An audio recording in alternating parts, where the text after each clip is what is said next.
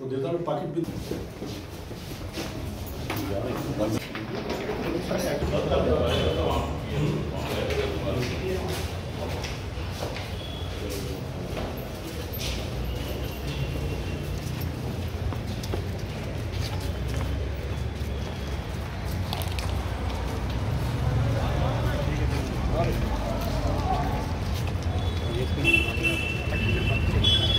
right?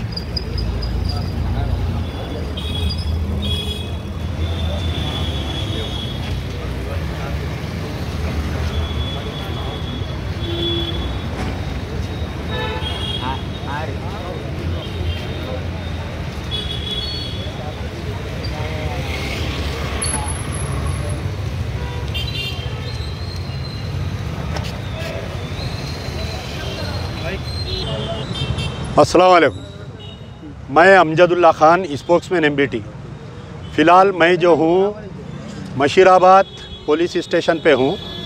अभी कुछ ही देर पहले, तकरीबन साढ़े नौ, दस बजे के क़रीब में मुझे ये इतला मिली कि मशीराबाद की जो एक मीनार मस्जिद है, वहाँ पर किसी दुकान में पटाखे जो बिक रहे हैं, उसके अंदर जो है, कुरानी आयत में लपटे हुए पटाखे हैं बोलकर। तो मुझे जैसा ही मालूम हुआ, मैं फौरी भाग कर आया और इमीडिएट मशीराबाद के इंस्पेक्टर और एसीपी चिकड़पल्ली को हम इतला किए और ये लोग जो है, मैं भी अभी कंप्लेंट भी दिया। पूरे पटाखे सीज़ कर लिए गए हैं। ये पटाखे जो है, शिवा काशी में, शिवा काशी में बनाए सो पटाखे है ये। और इसके ऊपर सख्त से सख्त कानूनी कार्रवाई करते हुए वो दुकानदार को ये कौन पटाखे है? और शहर में कहाँ कहाँ बिक रही। ये पूरों को सीज़ करने के लिए हम अभी कमिश्नर साहब से भी बात किए हैं, डीसीबी साहब से भी बात किए हैं।